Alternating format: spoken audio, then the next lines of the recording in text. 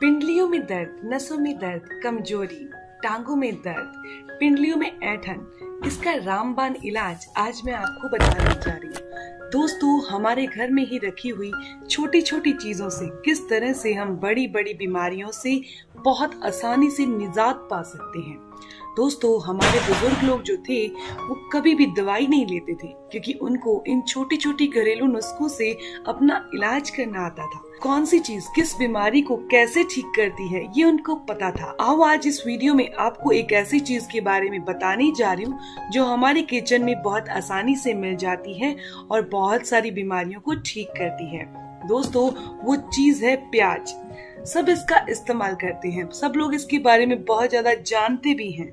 लेकिन आपको ये नहीं पता होगा कि ये कितनी बीमारियों को ठीक करती है, जिसकी वजह से हमें रात को नींद नहीं आती, आराम नहीं मिलता पूरे दिन। आज मैं आपको बताने जा रही हूँ कौन सी बीमारी में किस तरीके से प्याज का इस्तेमाल किया जाता है। इसके अलावा आप इस वीडियो को पूरा एंड तक ज़रूर देखिए, क्योंकि कभी न कभी आपने भी अपनी पिंडलियों में या नसों में दर्द, कमज़ोरी महसूस की होगी।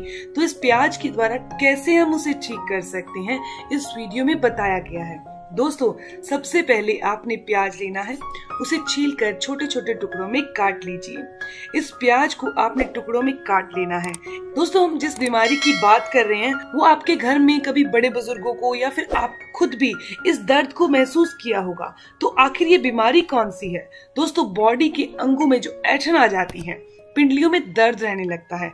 ऐठन के कारण ऐसे नहीं दर्द होता है। उससे प्याज ठीक कर सकता है। पैरों में ऐठन रहना, हाथों में दर्द होना, बॉडी में ऐठन और दर्द महसूस होना। एक बार रात को सोते टाइम जो ऐठन आ जाती है, लगातार दर्द बना रहता है। जिसके कारण कभी कभी दवाई भी खानी पड़ती है। ये वो घरेलू नुस्खा है जो हमारी दादी नानी इस्तेमाल करते थे। लेकिन अब हम इनसे भूलते जा रहे हैं। दोस्तों, प्याज को छोटे छोटे टुकड़ों में काट कर इसको आप मिक्सी में डाल लीजिए और इसका हमने क्या करना है? किसी भी छलनी की सहायता से हमने इसका रस यानी जूस निकाल लेना है। दोस्तों, ये जूस ही हमने इस्तेमाल करना है। लेकिन कैसे करना है? किसी भी इंसान के अगर पूरा दिन पैर दर्द होते हैं या पिंडलियों में दर्द होता है, पैरों के तलवों में दर्द होता है, आपको पैरों के तलवों में बहुत ज़्यादा गर्माहट महसूस होती है। पैर नीचे सुबह सुबह रखते हैं तो आपको बहुत दर्द महसूस होता है। या फिर आप बेड पर सोने जाते हैं, तब आपको दर्द महसूस होता है। तो आपने साधारण सी चीज़ करनी है कि आपने इस जूस जो प्याज का निकला हुआ है, इसे आपने गैस पर गर्म करना है। बहुत ही सिम फ्लेम पर 30 सेकंड से लेकर 40 सेकंड तक। सिर्फ़ इतना। इसके बाद आपने गैस को बंद कर देना है। ध्यान रखिए, हमने इसका रस का इस्तेमाल गरम गरम नहीं करना। हमने इसे गुनगुना ही इस्तेमाल करना है। दोस्तों, उसके बाद हमने पैरों के तलवों पर रात को सोते टाइम जब आपके पैरों के तलों पर दर्द हो रहा है, उसी टाइम अगर आप इस फॉर्मूले को फॉलो करते हो तो इंस्टेंट रिलीफ मिलेगा। आपने ऑयल मसाज सुनी है? लेकिन हमने यहाँ जो प्याज का रस गर्म किया है, हल्का सा गुनगुना होने के बाद आप अपने पैरों के तलवों पर, पिंडलियों पर, जहाँ भी आपको ऐठन महसूस हो रही है, घुटनों के पीछे ऐठन महसूस हो रही है, खिंचाव महसूस हो रहा है, वहाँ आपने इस रस से तलवों की या फिर पैरों की पिंडलियों की मसाज करनी बहुत हल्के हाथों से। ये मान लीजिए कि आपने इस रस को पैरों के तलवों पर और पिंडलियों के पीछे लगाना है। ऐसा करने से तुरंत आराम मिल जाएगा। दोस्तों, इसके अलावा आपने क्या करना है? कोई भी कॉटन का दुपट्टा ले लीजिए। बहुत सिंपल सा मेथड बता रही हूँ। कॉटन का दुपट्टा ले लीजिए और उसे अपनी पिंडली पर बाँध लीजिए। ना तो बहुत टाइट हो और ना बहुत ही हल्का सा हो। दोस्तों, इस तरीके से बांधिए कि आपको रिलैक्स महसूस हो बंधने के बाद।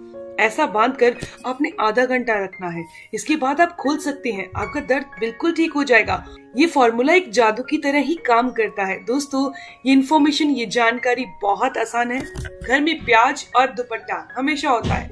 इससे आप अपनी पिंडलियों का दर्द, पैरों के तलवों के दर्द को बहुत आसानी से दूर कर सकते हैं। ऐसा करने से आपको बहुत आराम से नींद भी आ जाएगी और आप बहुत फ्रेश महसूस भी करेंगे जब आप सुबह उठेंगे।